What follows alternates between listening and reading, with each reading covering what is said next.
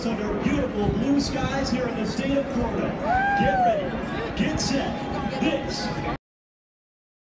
Can he get beside him and can he make clear it? Don't go to the inside, go to the outside. There it is. He's going to get him right here. I think he's it got is. Him. It's going to be a drag race to the line. Oh, he's got him. I think he might have him. He's got the momentum. Don't rag. Don't. They touch. They touch.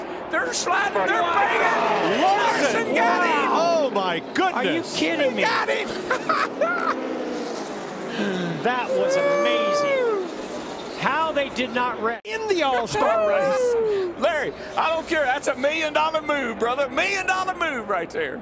You know, I knew Chase was, was going to be good on four tires, and I knew he had a f- he was probably going to win the fan vote. So uh, Monster Energy NASCAR Cup Series. The distance today, 400 miles, and it's going to take us 200 laps to get it done.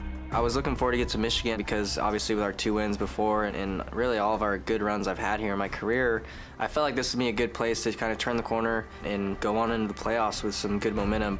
Thank you guys for the fast car again. 200 laps. We'll be racing lap 60 to the end of the first stage. Let's have a good one, huh? Let's close it out here, whether you know what. Yeah, sounds good. Ready, green flag? The first run, we, we felt